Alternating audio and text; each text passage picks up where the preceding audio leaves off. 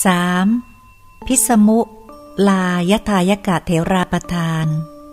ประวัติในอดีตชาติของพระ พิสมุลาลทายกะเถระ พระพิสมุลาลทายกะเถระ เมื่อจะประกาศประวัติในอดีตชาติของตนจึงกล่าวว่า 8. พระสัมมาสัมพุทธเจ้าพระนามว่าผุดสะ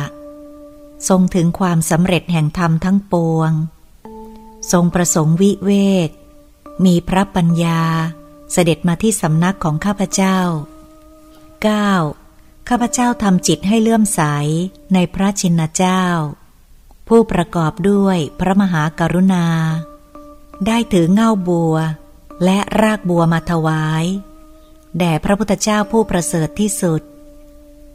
10. ในกับที่ 92 นับจากกับนี้ไปข้าพเจ้าได้ถวายเง่าบัว และรากบัวไว้ในครั้งนั้น จึงไม่รู้จักทุกขติเลย นี้เป็นผลแห่งการถวายเง่าบัว และรากบัว 11. คุณวิเศษเหล่านี้คือปฏิสัมพิทาสี่วิโมกแปดและอภิญญาหกข้าพเจ้าได้ทำให้แจ้งแล้วคำสั่งสอนของพระพุทธเจ้า ข้าพเจ้าได้ทำสำเร็จแล้ว ดังนี้แล ได้ทราบว่า ท่านพระ พิสมุลา ละทายกะเถระ ได้ภาสิทธคาถาเหล่านี้ ด้วยประการชนี้